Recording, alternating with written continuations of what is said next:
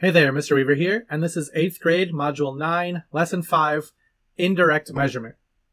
After this lesson, you need to be able to use properties of similar triangles to solve indirect measurement problems. Let's learn. Indirect measurement. Indirect measurement allows you to use the properties of similar polygons to find distances or lengths that are difficult to measure directly.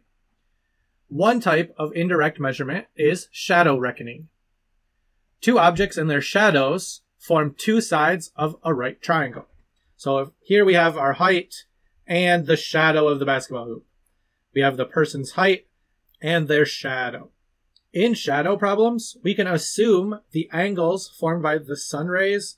So sun somewhere way up here, you know, millions of miles away, they hit the objects at the same angle. And since two corresponding angles show similar triangles, we already know that this is a right one. The sun's angle here and here must be the same. These two triangles will be similar. And if they're similar, we can use the measurements of one, so we could figure out the kid's height and the kid's shadow to figure out the height of the basketball hoop, or an even taller object. Example 1. Use indirect measurement. This scout statue of the Korean War in Washington, D.C. casts a 43.5 inch shadow. At the same time, a nearby tourist casts a 32 inch shadow. So here's our shadow, and here's our shadow. If the tourist is 64 inches tall, how tall is the statue? So here's where we can use what we know and things that are easy to measure to figure out something that might not be quite so easy to measure. So to solve this, let's set up a proportion comparing what we know. So in our first ratio, we can do the tourist height to the statue's height. So 64 to h, since that's what we want to know, compared to the length of our shadows. So the tourist was on top, so 32 on top, the statue's on the bottom, 43.5. If we compare these two things, how can I figure out what the height is?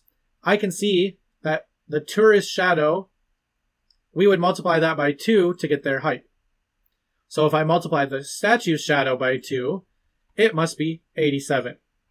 So the statue's height is 87 inches tall, which is just over 7 feet tall.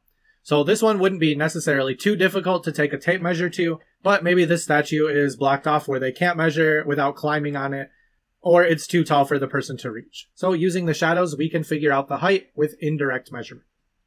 Check your understanding. How tall is the tree? Pause the video now and complete the check. Check your answer. You should have found that the tree is 3.3 meters. To figure this out, I'm going to set this ratio up differently. I'm going to compare the dog to the dog and the tree to the tree. So 0.45 is the height of the dog. So I'll put height on top.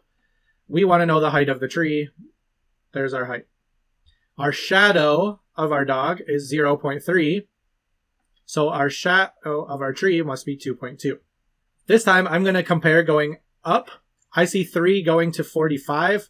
So I must have multiplied by 15, 3 to get to 45. But this time I need two decimal places, so I must have had to multiply by 1.5. 2.2 times 1.5, so 22 times 15. If I did 22 times 10, I'd get 220. 22 times 5, I would get 110. So that would be together 330, but I have two decimal places, so 3.3, which is our height of our tree. So I just found the ratio of the height to the shadow for each my height must be 3.3. Example 2. Use indirect measurement. In the figure, triangle DBA is similar to triangle ECA. Find the distance D across the lake. Here's another example where it would be really difficult to use the methods we're familiar with to find a distance across a lake. But if we use similar triangles, we can use indirect measurement. So here I have my sight line from one side of the lake. Here I have my sight line to the other side of the lake. I want to know how far that is. Somewhere down the line, I can measure between my two sight lines. When I do that, it forms two triangles. So the first triangle, the sight width was 40, and to get to that point, I would have had to go 320 meters down that line. Comparing it to my overall, I would have had to go that far to get my sight line across the lake. So I have two similar triangles that I can figure out the lengths and set up a ratio for. Now let's write a proportion to find our missing measure. So AB is 320 compared to AC is a combination of those two things. So I need to add 320 plus 162. My ratio would be 320 to 482. That whole distance needs to be taken into account, which is why we separated the triangles. We don't want to get confused thinking that we just used the 162 when all of this together was that side. Now, for BD, the height was 40, and we want to know the distance. To find our missing measure here, we could say we're multiplying by 8 going this way, or I can see 320 divided by 8 is 40. So if we do 482 divided by 8, we end up with 60.25. So the distance across the lake is 60.25 meters. Again, that would have been a little bit difficult to measure using any of the traditional methods that we have learned. So indirect measurement would be a good way to get us a good estimate of our overall distance. Check your understanding. Find the distance across the ravine. So this distance over here. Pause the video now and complete the check.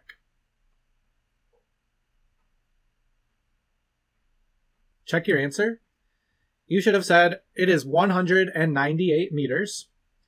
Let's see how to get this. Our two triangles are already separate. So 220 is corresponding to 400. We'll set that up as an equal ratio. 360 was paired with the 400. So make sure it's on the same pairing as 400.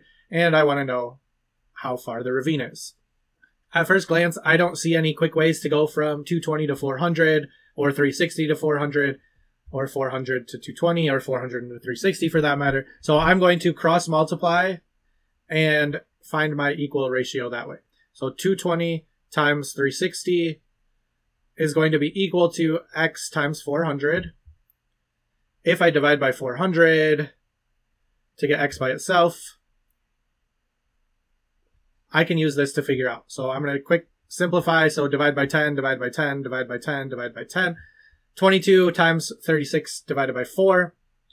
36 can divide by 4, I get 9. So 9 times 22 is 198. So all I did was multiply this out. If you don't like canceling and dividing stuff by 10, 220 times 360 divided by 400 still gives you 198. So 198 meters was the distance across my ravine here. As we conclude this unit, take some time to pause and reflect. How can you use similarity to solve real world problems? Include an example in your explanation. Can you think of anything else other than the few examples that we just saw? Pause the video now and write down your thoughts.